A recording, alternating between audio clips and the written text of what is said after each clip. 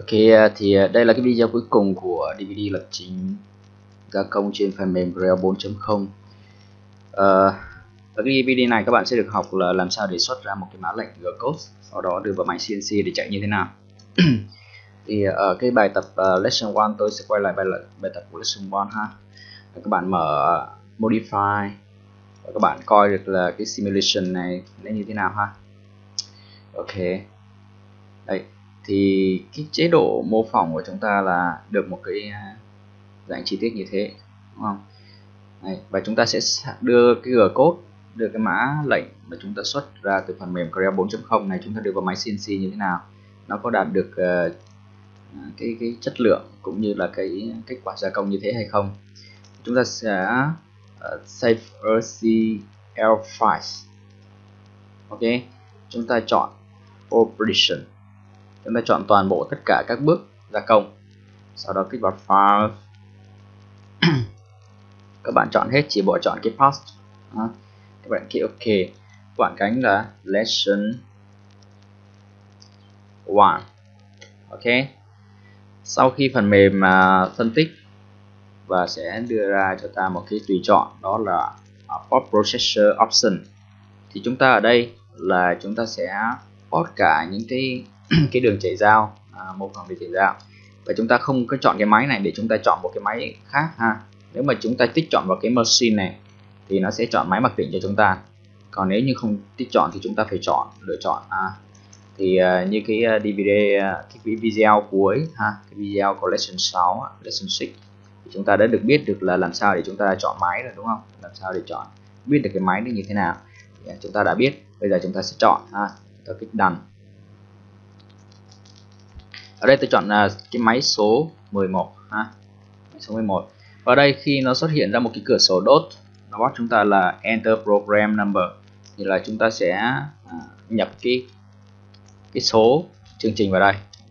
À, cái số của chương trình. Chúng ta nhập là 0 009 chẳng hạn. Ok chúng ta đặt rồi thì ở đây nó xuất hiện lên cho chúng ta một cái cửa sổ. À, cái cửa sổ này cho phép chúng ta biết được là cái thời gian gia công cũng như là cái thời gian xuất mã lệnh. Ừ. là bao nhiêu? Cycle time này. À. đấy. Ok. Và như vậy chúng ta sẽ vào cái à, folder của lesson 6 à, lesson one, ok. Chúng ta tìm cái file lesson 1.tab thì đây là cái file g code của chúng ta chúng ta kích chọn open. À, open này. Open là các bạn không có cái chương trình à, notepad cộng cộng này thì các bạn mở với cái chương trình là open with. Notepad mặc định trong win đó. đây này cái notepad này này. À, notepad ok. Và đây các bạn thấy được là cái cái mã g code của chúng ta đã đã hoàn thành được chưa? Thì đó là tất cả những cái g code của các bước gia công của win công gia công thì đây các bạn chú ý là đây là các cái ghi chú ở trong ngoặc là các cái ghi chú để cho cho phép chúng ta biết được là à, cái ngày giờ xuất mã lệnh như thế nào ha. Đấy. Chúng ta không cần thiết chúng ta bỏ đi cho nó nhẹ ha. Còn cái G71 này chúng ta bỏ đi luôn.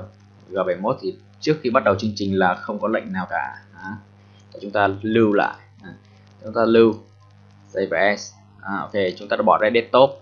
Chúng ta lưu sang cái file dạng dạng test. Dạng test. À, và chúng ta bỏ đuôi chấm tao đi ha. Chúng ta kích yes save ok. Bây giờ các bạn vào cái chương trình mô phỏng CNC thì đây nếu như các bạn biết là muốn biết được cái cách vận hành à, của các cái à, các cái bộ điều khiển CNC trong cái phần mềm SCNC này thì các bạn có thể mua thêm DVD ha. Còn đây là tôi sẽ chỉ có mô phỏng thôi. Mô phỏng để các bạn thấy được kết quả gia công của Creo 4.0 và sau khi đưa vào máy CNC thì nó như thế nào? Chúng ta sẽ open cái uh, cái lesson one của chúng ta ra ha. Test file ok. Lesson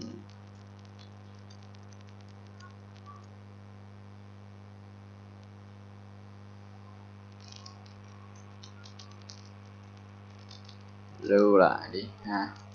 Lesson 1 right. Ok. Bây giờ chúng ta sẽ thấy cái file lesson one ở đây. Ok ở desktop. Này này chúng ta đã build ha. Chúng ta open. Giờ yeah. sau khi open xong thì các cái lệnh uh, g code nó sẽ được nhập vào đây. Và chúng ta sẽ bắt đầu gia công với nó. Được chưa? Gia công với nó. Bây giờ các bạn sẽ thêm xem cái, cái, cái kết quả gia công của nó như thế nào nghe bây giờ chúng ta sẽ có kết quả gia công ha. Bạn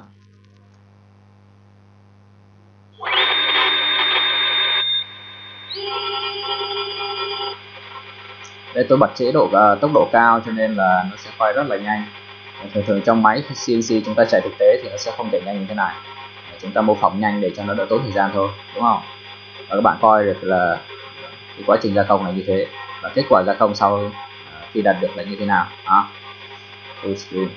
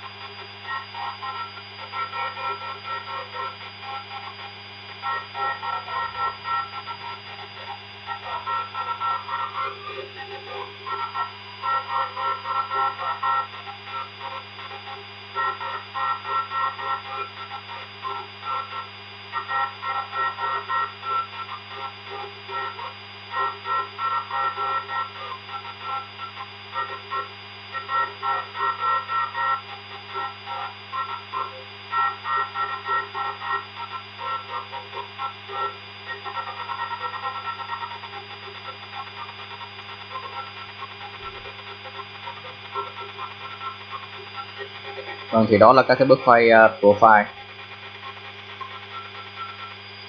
Ok. Như vậy là cái chương trình của chúng ta đã uh, lập trình gia công trên lesson 1 và gia công thực tế là như vậy à, đây là là cái lớp cuối cùng nó không có file tiếp là do là nó nó bị va chạm vào cái đồ đá cái cái eto này cho nên nó sẽ không file tiếp. Đấy. Cho nên khi xét uh, máy các bạn phải chú ý là cái chiều sâu gia công của chúng ta từ cái mặt của chi tiết xuống dưới cái, cái tầng sâu cuối cùng á, cái lớp cắt sâu cuối cùng là bao nhiêu? Để chúng ta kẹp cái chi tiết cho nó chuẩn á, nó không bị uh, hụt và nó sẽ khi gia công thực tế nó sẽ không dừng như thế này đâu mà nó sẽ quay tiếp và lúc đấy sẽ gây ra một là phá eto hai là phá dao hoặc là phá máy. Yeah, các bạn phải cẩn thận.